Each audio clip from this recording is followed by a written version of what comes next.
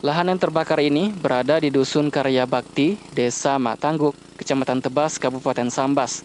Upaya pemadaman dilakukan tim gabungan TNI Polri bersama pihak desa. Selain itu, juga dilakukan pendinginan lahan yang terbakar, yakni tanah gambut dibasahi atau disiram menggunakan mesin robin, sampai bara api yang berada di dalam padam.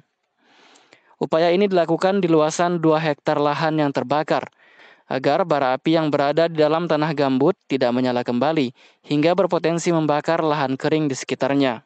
Di kegiatan kita hari ini kami bersama TNI dan aparat desa serta relawan yang ada melaksanakan penanggulangan terhadap titik api, titik api di lahan gambut yang seperti kita ketahui di sekitar sini ada sekitar 200 hektar lahan gambut yang meliputi tiga kecamatan, kecamatan Tebas, kecamatan Selako, dan kecamatan Semparu asal mulanya dari sini titik apinya yang ada di Karya Bakti kita berusaha menyelamatkan sekitar kurang lebih 2 hektar ya Pak supaya tidak menyebar jadi kobaran atau karuta yang lebih besar lagi.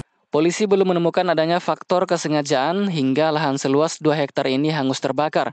Namun dugaan sementara, lahan yang terbakar ini dikarenakan musim kering dan kencangnya angin yang berhembus. Dari Kabupaten Sambas, Zainuddin Pontipi memberitakan.